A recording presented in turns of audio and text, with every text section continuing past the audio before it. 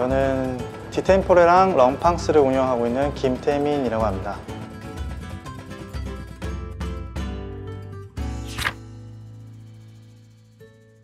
디템포레는 이제 알맞은 때라는 뜻이고요. 저희가 이제 최대한 제철 재료를 사용하고 손님들이 행복한 시간을 좀 가지고 가실 수 있도록 이렇게 지었습니다.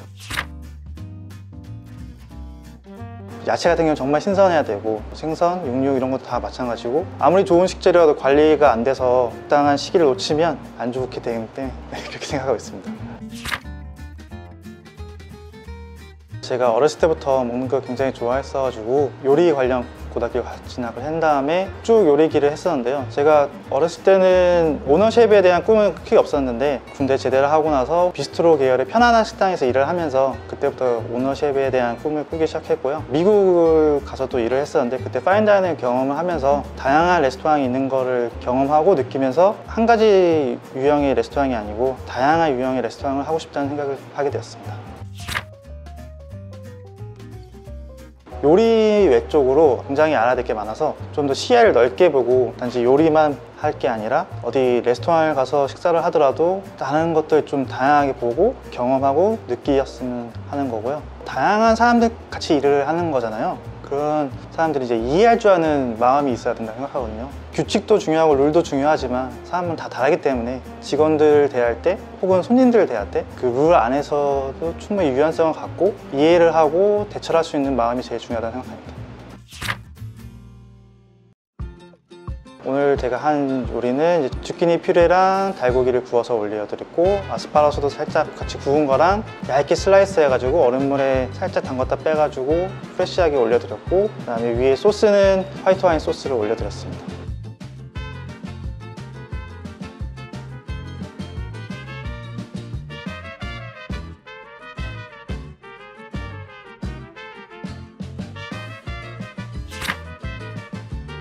네, 오늘 제가 pairing 한 와인은요.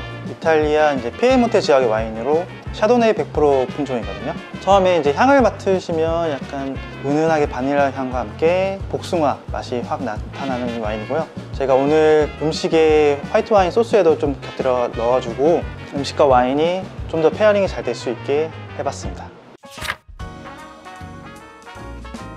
저는 꼭 해외 경험은 했으면 하는 주의거든요. 거기 나라에 살면서 그 나라의 문화나 여러 가지 다양한 경험들을 할 수 있기 때문에 쉽게 생각해서 한식을 하는 외국인이 한국에 한 번도 안 와서 한식을 한다고 하는 건 아무래도 어불성설이잖아요. 그런 것처럼 이제 서양 요리를 하게 되면 꼭 그 나라의 문화를 많이 느끼고 왔으면 합니다.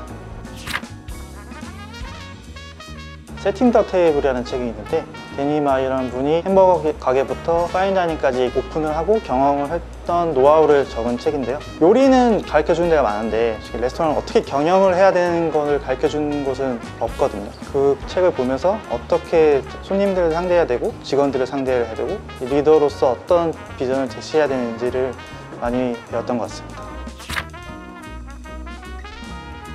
일에만 너무 빠져 있으면 오히려 너무 작은 것도 크게 보일 때가 있거든요. 그래서 여행을 가거나 공연을 보러 가거나 갤러리를 가거나 환기를 많이 시켜서 관점을 다르게 하려고 많이 노력하고 있습니다. 저 같은 경우는 이제 조리고등학교 때문에 얼마 전에 제가 학교 가가지고 강의 비슷하게 했었는데 저는 항상 얘기하는 게 급여보다 이제 배울 수 있는 곳을 가라고 하거든요. 인생이 짧다면 짧고 길다면 긴데 최대한 길게 보고 결정했으면 좋겠습니다. 셰프라고 얘기하면 단순히 주방에서 일하는 사람이라고 생각할 수 있는데 저에겐 셰프란 단순히 요리가 아니고 손님이 행동 하나하나까지 잘 관찰할 수 있어야 셰프라고 생각합니다.